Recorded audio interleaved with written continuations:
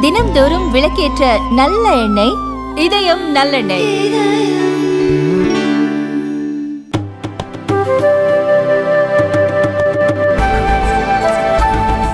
இரண்டாயிரத்து நாற்பதாம் ஆண்டிற்குள் இந்தியா சார்பில் மனிதனை நிலவிற்கு அனுப்பும் பணி நிறைவேற்றப்படும் என சந்திரயான் மூன்று திட்ட இயக்குனர் வீரமுத்துவேல் தெரிவித்தார்.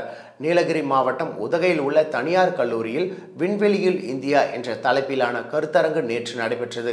கருத்தரங்கு முடிந்த பின்னர் செய்தியாளர்களிடம் பேசிய அவர் இந்திய விண்வெளி ஆய்வு மையம் சார்பில் ரிமோட் சென்சிங் தகவல் தொடர்பு வானிலை ஜிபிஆர்எஸ் வழிகாட்டி கடலியல் குறித்து ஆய்வு செய்யப்பட்டு வருகின்றது. செவ்வாய் கிரகம் சூரியன் ஆகியவற்றை ஆய்வு செய்வதற்கான செயற்கைக்கோள்கள் அனுப்பப்பட்டு வருகின்றன. இவற்றின் மூலம் பெறப்படும் தகவல்கள் மக்களின் வாழ்க்கை முன்னேற்றத்திற்கு பயனுள்ளதாக இருக்கும். இந்தியா சார்பில் விண்வெளியில் ஆராய்ச்சி மையம் அமைக்க நடவடிக்கை எடுக்கப்பட்டு வருகின்றது.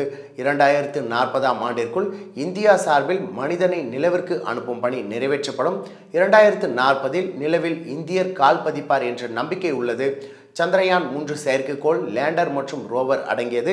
இதன் ஆயுட்காலம் ஒரு லூனார் நாளாகும். அதன் ஆயுட்காலம் முடிவடைந்து விட்டது. அந்த செயற்கைக்கோள் எந்த நோக்கத்திற்காக விண்ணில் ஏவப்பட்டதோ அந்த நோக்கம் முழுமையாக நிறைவேறியுள்ளது. இந்த திட்டத்தில் பயன்படுத்தப்பட்ட ஆர்பிட்டர் நிலவின் சுற்றுவட்ட பாதையிலிருந்து மீண்டும் பூமிக்கு வெற்றிகரமாக திரும்ப கொண்டு வரப்பட்டது என்றார்.